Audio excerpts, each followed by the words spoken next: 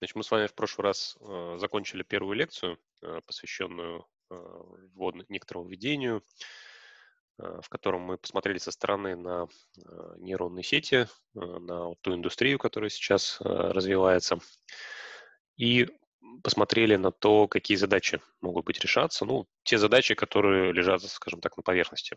То есть это задачи, связанные с распознаванием изображения, распознаванием э, звука, голосов, э, то, что очень активно используется сейчас э, в интернет-индустрии. Сейчас уже потихонечку все это переползает в носимые устройства, то есть умные часы, смартфоны, различная другая, другого рода электроника.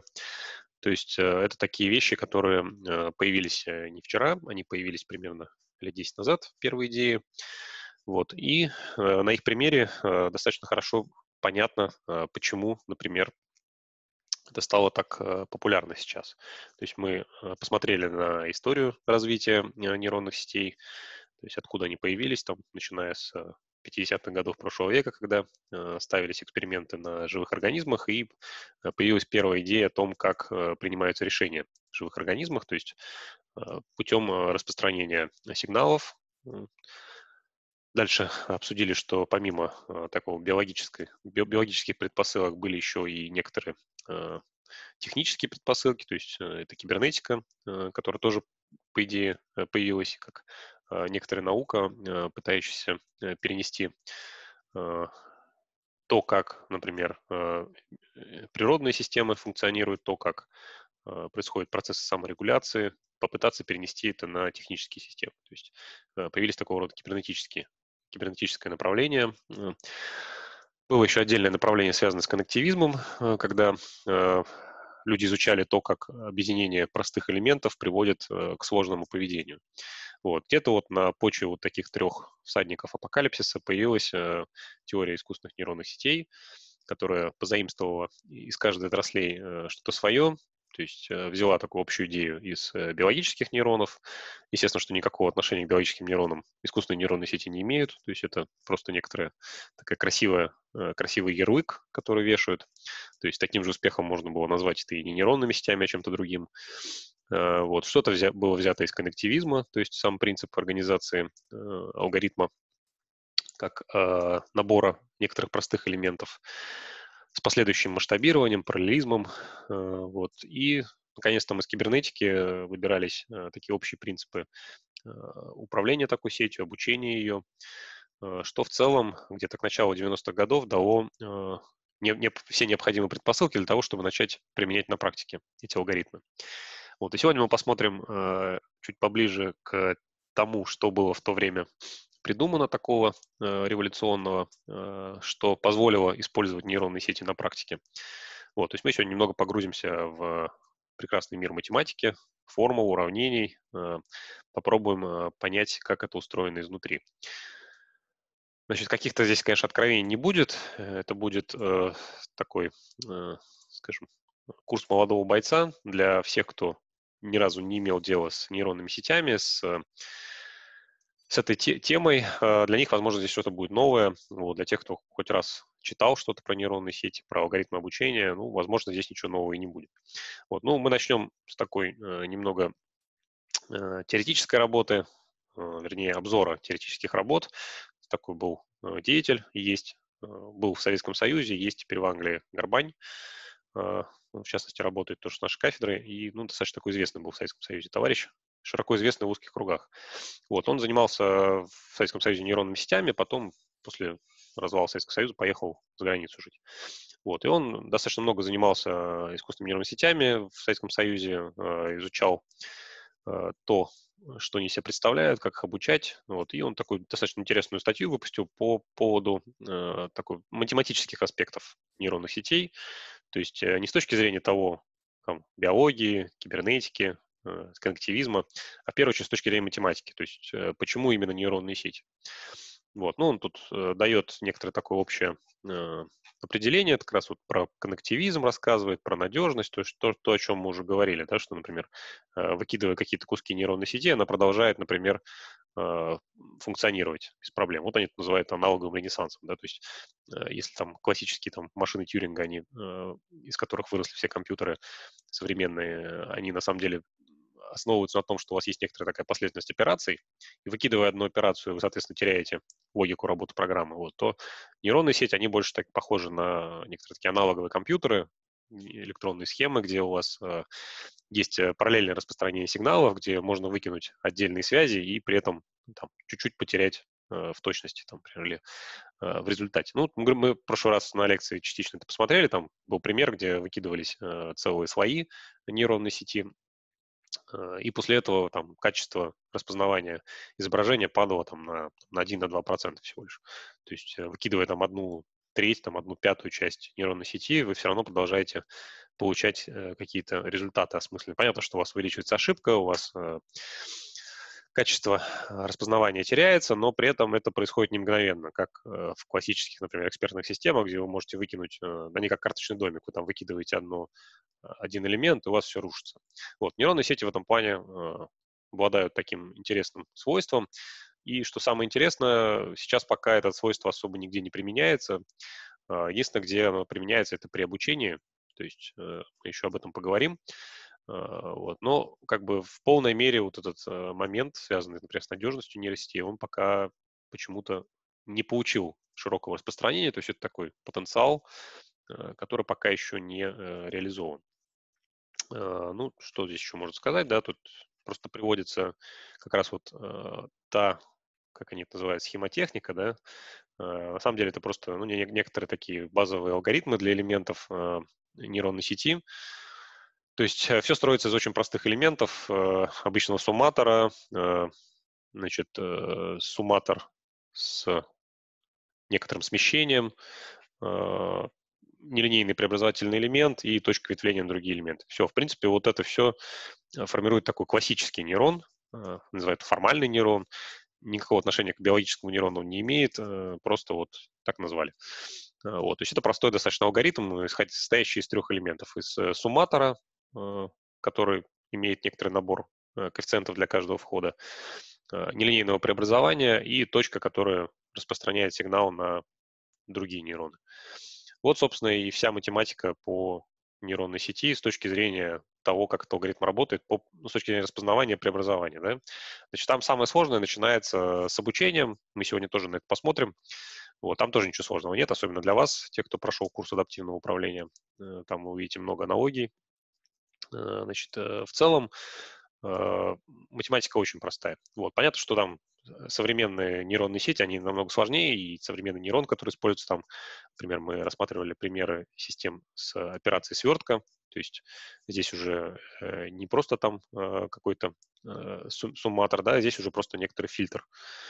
По сути, фильтр тоже, э, свертка тоже, по сути, является сумматором, э, суммированием. Только там единственное, что у вас есть, появляется некоторое окошко, э, которое бегает по изображению, там, либо по входному сигналу, по какой-то истории. То есть это просто некоторые дополнительные свистелки и навороты, которые позволяют, да, усложнить, с одной стороны, модель, но не настолько радикально, чтобы с этим невозможно было разобраться. Вот, поэтому в целом для, того, для понимания того, как устроена нейронная сеть, можно ограничиться э, тем, ну, скажем, не нейронная сеть, а такие основные принципы того, как она строится. То есть она строится из таких простых базовых элементов, э, которые впоследствии э, организуются, вот как тут нарисовано, в наборы слоев. То есть удобней, понятно, что можно там и беспорядочно соединять между собой, вот, но по крайней мере, с точки зрения техники, удобнее их объединять некоторые более высокоуровневые э, элементы, которые допускают некоторый параллелизм, то есть сразу же появляются разные идеи о том, как организовать процесс вычисления. То есть можно там строить некоторый конвейер по распространению сигналов. То есть в параллельном режиме посчитать там первый слой, передать по конвейеру для расчета второго слоя, в это же время взять там новые данные для первого слоя и таким вот конвейером как бы рассчитывать а, выходные сигналы. Вот. Ну, вообще, как это организовать, это отдельное направление. Сейчас очень активно э, люди работают над тем, как Э, например, построить э, компьютеры, которые будут базироваться не на э, идеи там, тюрингов, тюринговой логики, где у вас есть некоторая память и есть программа, которая описывает, как преобразовывать эту память и последовательность операций, которые выполняются. То есть это такие классические тюринговые компьютеры, которые сейчас э, э, везде, ну, грубо говоря, везде, и в телефоне, и в умных часах, и в персональном компьютере, и в облаке они у вас крутятся. То есть это такие классические компьютеры. Вот. А сейчас как раз идет речь о том, как построить э, новый, новый принцип, новый принцип э, вычислений. Вот. И здесь тоже есть э, огромное-огромное направление. То есть э, самое такое популярное сейчас это компьютеры, построенные на э, базе графических вычислителей, то есть э, вот такой вот конвейер, он организуется внутри вычислителя, который, по сути, является некоторым таким устройством для массово параллельных расчетов. То есть там специ... специализированный процессор, который умеет параллельно делать векторно-матричные операции. Вот. И здесь понятно, что изначально они разрабатывались для трехмерной графики, где тоже все, по сути, крутится вокруг векторно-матричных преобразований. А, вот. Но оказалось, что вот и нейронные сети, например, вот если их представить вот с помощью вот таких вот элементов, а, как простой, простой набор элементов, да, и организованных в некоторые, а, некоторые слои, то таки, такого рода алгоритмы тоже очень легко реализуются с помощью векторно-матричных, формулируются с помощью векторно-матричных операций, соответственно, могут распараллеливаться и выполнять там, колоссальный объем вычислений там, за какие-то, ну, почти в реальном времени. То есть там современные нейронные сети, как мы на прошлой лекции посмотрели, это там десятки миллионов э, вот таких вот элементов. Э, в каждом элементе вы можете обратить внимание, какое количество параметров.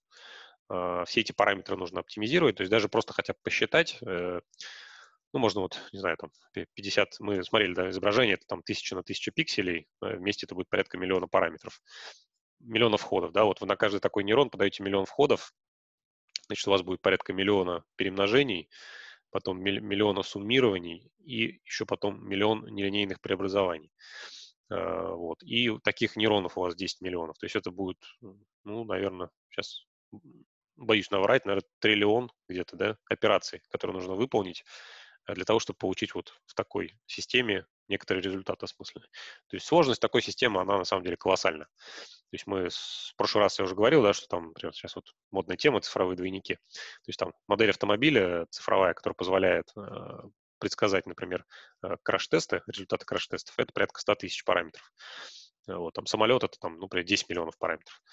То есть фюзеляж самолета, который позволяет там э, предсказать, как будет э, э, двигаться самолет в воздушном пространстве.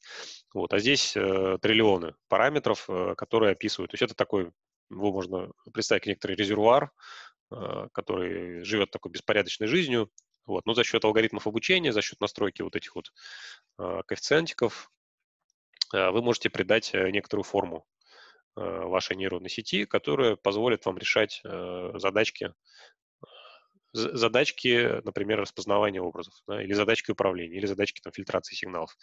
Вот, то есть вот такая вот э, интересная аналогия с тем, как это э, в общем выглядит. Вот, ну и почему, например, э, такое возможно, почему, например, то есть математиков вот интересует вопрос, и в частности вот автор этой статьи, а почему, собственно, мы решили, что это так, что так возможно, что вот взяв такое количество элементов, можно получить какой-то осмысленный результат. Вот, то есть, э, с одной стороны, для инженеров, наверное, это будет очевидным, почему так, на интуитивном уровне, да, но вот на математике они не верят ни во что. То есть они вот занимаются такими вот интересными задачками, как а, пытаются понять, а вот, а вот что если. Вот. Ну и там э, тоже классика уходит там куда-то в средние века, где там изучали э, вообще задачу, никак не связанную с нейронными сетями, просто решение э, уравнений различных степеней.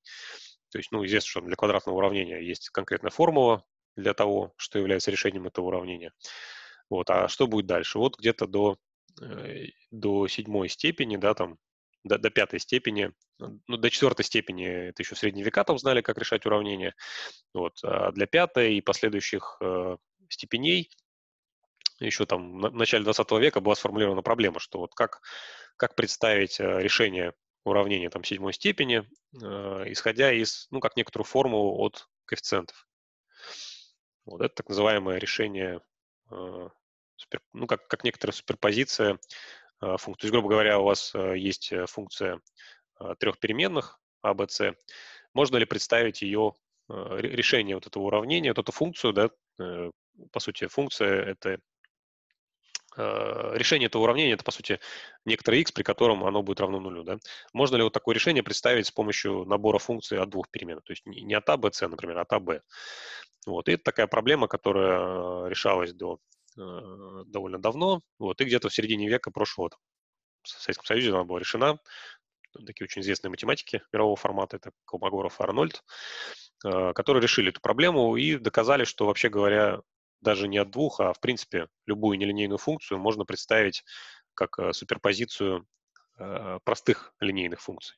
То есть сумма от суммы простых функций. И единственное требование, которое накладывается на вот эту вот функцию фи, э, это чтобы она была нелинейной. То есть чтобы у нее была какая-то кривизна. Вот это такой фундаментальный результат математический, который, по сути, показывает, вернее, доказывает, почему, например, взяв большое количество... Ну, понятно, что математики не говорят, сколько нужно таких функций взять. Они говорят, что при бесконечном количестве функций э, вы сможете с бесконечной точностью аппроксимировать любую функцию многих переменных. Вот, и именно поэтому именно это является основанием для того, чтобы говорить, что нейронные сети обладают некоторой универсальностью. То есть, как видите, здесь тоже есть, здесь есть сумматор с некоторым набором коэффициентов, и есть нелинейное преобразование. То есть функция одной переменной. То есть вы посчитали э, некоторую э, сумму входных значений от многих переменных и подали ее на вход э, функции одной переменной. Вот, собственно, и вся магия нейронных сетей. То есть, ну, естественно, что она основывается на вот этом вот фундаментальном результате математическом, за которым стоит огромная работа теоретическая там, в течение 100 лет, где вот люди как раз доказали, что вот можно взять произвольную функцию многих переменных, взять произвольную нелинейную функцию одной переменной, передать одно в другое э, и получить на выходе ту же самую функцию с требуемой точностью.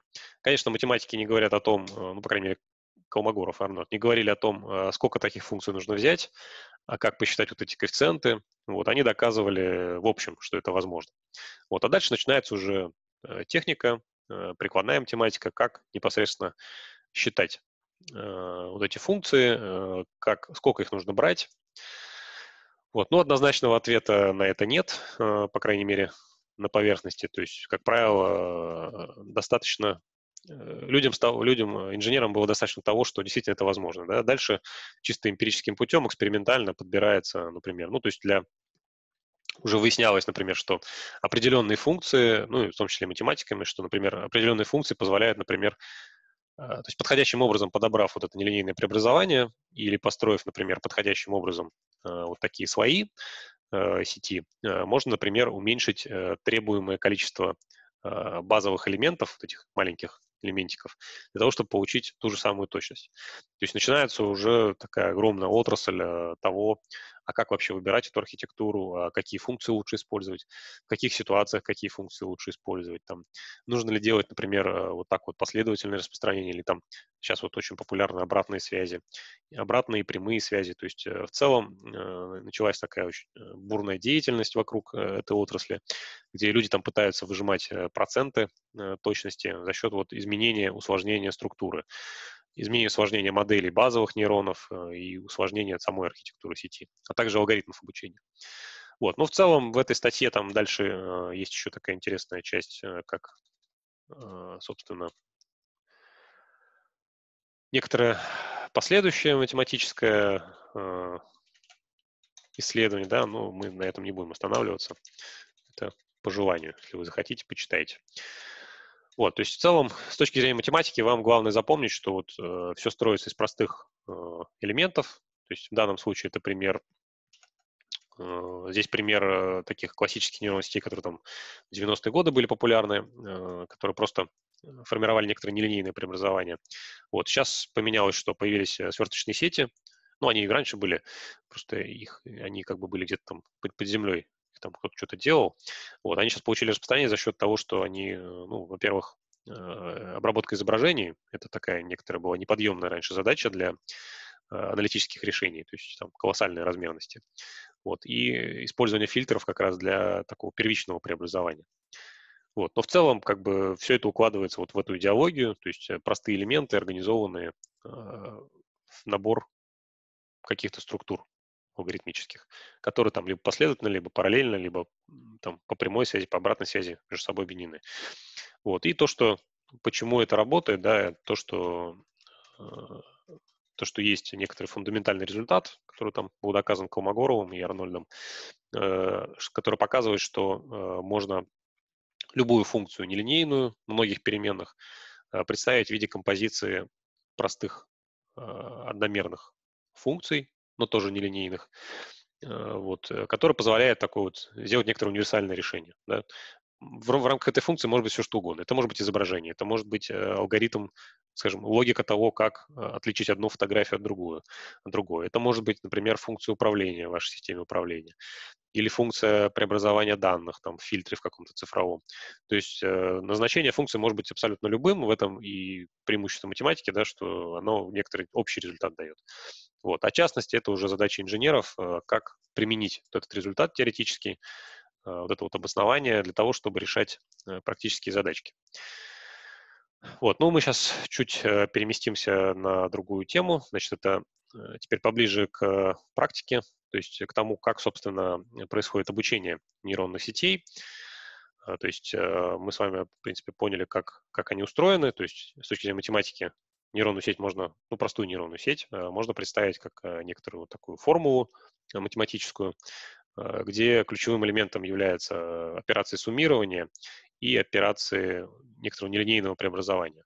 То есть некоторая базовая функция, которая преобразовывает результат. Вот. Теперь вопрос, как, например, собственно, вот эти вот коэффициенты вычислить. Потому что функцию-то мы выберем, причем э, математики нам говорят, что вы можете любую нелинейную функцию брать, вот, как, как вашей душе угодно. А, вот. А главное, чтобы она нелинейная была. Вот. А вот как вычислять вот эти параметры, математики вообще не отвечают. То есть вот в своем фундаментальном результате они про это вообще не говорят. Просто, что вот выбрав какую-то функцию, вам нужно будет э, подобрать подходящий коэффициент, и вы сможете представить результат. Вот. Мы сейчас посмотрим на то, как вот эти коэффициенты, собственно, выбираются. Ну, такие основные идеи как это делается. А, ну, для этого нам надо вспомнить немножко про курс э, адаптивного управления, э, курс оптимального системы управления, где вы изучали э, задачи оптимизации. То есть, если вы помните, что задача оптимизации, первое, с чего начинается, это формулируется некоторая функция потери или оптимизирующий функционал. То есть функция, которая показывает, насколько хорошо вы сейчас, ваша система оптимизирована. А, вот. Ну, есть разные варианты этих функционалов. Э, вот в, классическом, э, в классической э, теории нейронных сетей рассматривается такая некоторая, ну, некоторая общая функция скоринга, то есть некоторая функция, которая показывает некоторый, ну, выдает некоторый результат, грубо говоря, да, там, ну, в данном случае тут функция нелинейная, но они вот для примера тут линейную взяли функцию, да. То есть она может быть линейная, может нелинейная. Понятно, что в случае нейронной сети она нелинейная. Это вот то нелинейное преобразование, которое мы здесь вот рассматривали. Да? А, и есть вот множество разных вариантов, то, как эти функции потерь строить. Э, значит, есть э, там функции потерь. А, ну, это тут на самом деле слайд для из лекции по теории классификации изображений. Вот поэтому у них тут такие немножко специфические э, задачки там для вот линейных функций, они выбирают такой специально, специальным образом э, подобранная функция потерь, чтобы можно было делать э, как бы классификацию на множество классов. Вот, то есть изначально у вас, например, линейная функция, она разделяет плоскость на две половинки. Таким образом, вы можете классифицировать э, два класса. То есть то, что ниже прямой и выше прямой. Вот. А для того, чтобы делать э, классификацию для многих классов, э, вот, э, берут уже некоторый набор таких линейных э, функций. И там идет принцип классификации каскадной. То есть у вас на первом этапе отфильтруются, то есть, грубо говоря, класс номер один и все остальное. На второй стадии там класс номер два и все остальное. На третьей стадии класс номер три и остальное. На каждой стадии у вас задается некоторая линейная функция.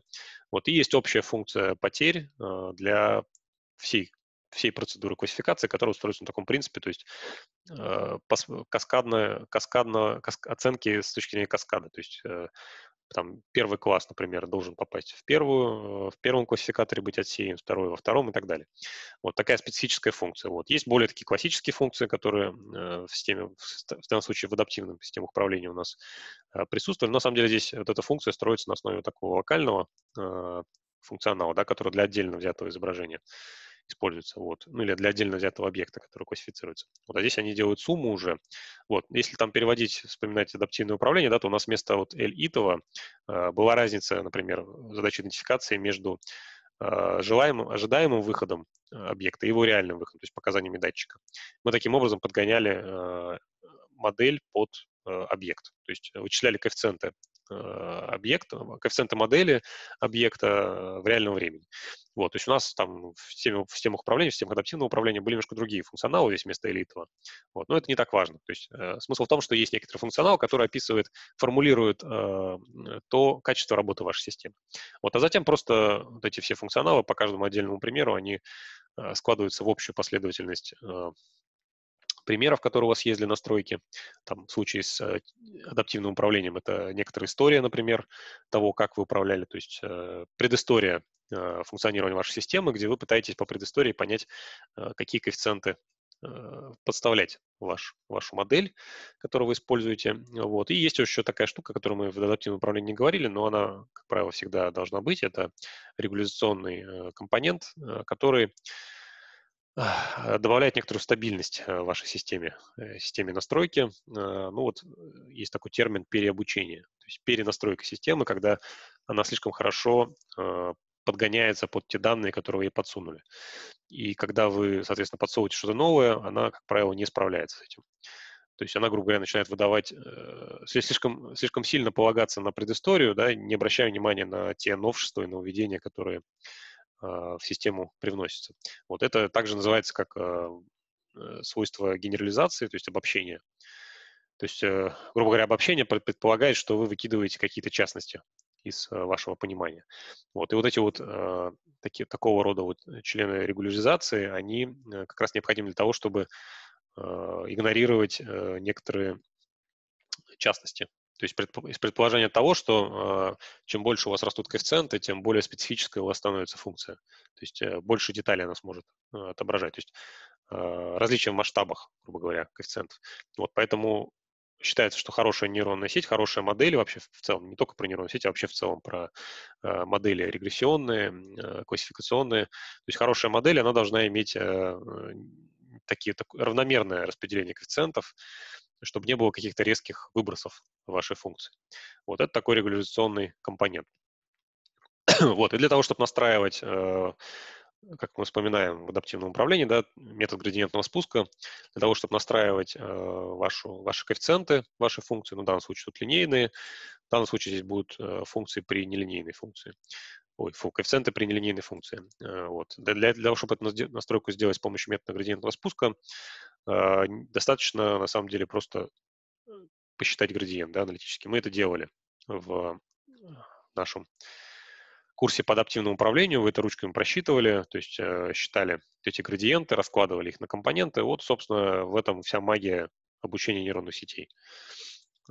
Здесь как бы никакого волшебства нет, все это вам хорошо знакомо. Мы сейчас просто еще раз все это повторим. Здесь есть одна фишка, связанная с тем, как нейронные сети организуются, и как это помогает э, при вычислениях, то есть при непосредственно расчетах, когда у вас есть 10 миллионов э, нейронов и э, 10 миллионов входов э, в эту нейронную сеть, да еще и там несколько десятков тысяч изображений, которые нужно классифицировать. То есть там есть э, некоторые такие технические уловки, которые позволяют э, существенно оптимизировать э, процесс обучения, то есть сделать его э, каким-то приемлемым по времени вот, чтобы это не выполнялось там тысячелетия. Вот, и мы с вами сейчас просто пробежимся по, ну, тут, понятно, алгоритм градиентного спуска, да, рассказывается, то есть есть некоторая функция, э, и задача найти ее минимум.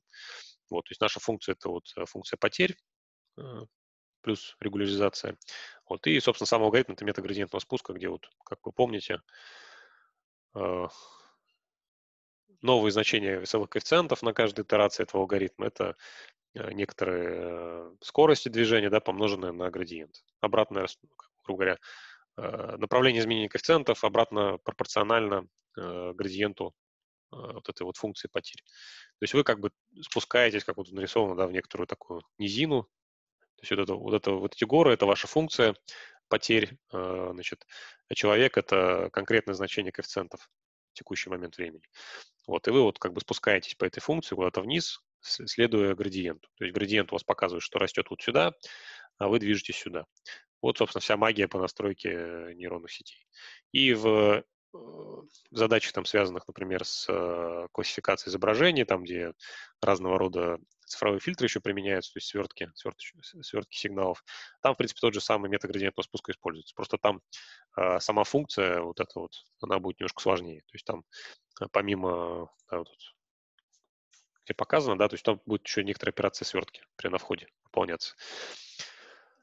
Вот, собственно, вся магия градиентного спуска. Так, ну, Тут просто детали уже, да, подскажут, что есть, например, э, численное вычисление, можно численно посчитать этот градиент. То есть в каждой точке сделать пробные шаги в разные стороны по каждой координате. Э, вот, и, соответственно, э, получить некоторую аппроксимацию, да, то есть вычесть новое значение, из, из нового значения вычесть старое, поделить на тот шаг, который вы сделали, и вы получить конкретно локальный градиент. Вот. Но это, конечно, очень, очень долго. То есть если у вас координат очень много, там, если брать, например, изображение, то там порядка миллиона, например, координат. Вот, сделать на каждом шаге вот такого спуска миллион шагов в разные стороны, чтобы понять, в какую сторону вам двигаться, может оказаться довольно дорого. Вот поэтому ну, вот в нейронных сетях, в частности, а, применяют аналитические градиенты, то есть это то, что, то, чем вы в адаптивном управлении занимались, вы просчитывали аналитический градиент. Вот, э, то есть там, там действительно можно было попробовать и численные посчитать, да, где у вас там одна-две координаты. Вот, когда, например, речь идет об изображениях, где там миллионы координат, ну или в целом вообще задача, где достаточно много э, координат используется. Вот, там, конечно, аналитический градиент э, выигрывает в скорости работы колоссально. То есть вы всегда в каждой точке знаете, куда двигаться дальше. Вот другой вопрос, что у вас не всегда есть аналитическое решение, вот, но в частности для нейронных сетей, где вы имеете дело с некоторым вот таким абстрактным, абстрактной функцией, вы этот градиент можете всегда посчитать. То есть э, проблема вычисления аналитического градиента происходит там, где вы имеете дело с физической сущностью, пытаетесь оптимизировать физическую сущность. То есть это какой-то, например, какая-то установка, которую вы должны экспериментально, например, оптимизировать, э, найти какие-то оптимальный набор параметров. Вот там, да, там, конечно, аналитическое решение только если вы модели процесса построите сами, и из нее уже выведете то, как э, параметры как параметры влияют на поведение этого физической сущности. Вот. Но если нет, то тогда придется вам вот делать вот такую вот хитрость, да, то есть э, двигаться в разные стороны, определять, куда лучше пойти, чтобы оптимизироваться, и, соответственно, потихонечку спускаться. Ну, здесь, конечно, много подводных камней. Э, здесь так красиво нарисовано, да, что есть вот некоторый единственный минимум, в который вы попадаете, постепенно двигаетесь. Если у вас вот таких минимумов будет несколько, то градиент придет к тому, что вы упадете в какой-то один из них. И не обязательно этот градиент будет э, оптимальным, да, то есть оптимальная точка будет, куда вы попадете, потому что вы просто не знаете, что здесь, например, есть еще, еще более низкая яма, куда можно тоже перейти и получить более оптимальное решение. Вот. Но здесь, конечно, про это ничего не говорится, то есть тут все красиво, все, все классно.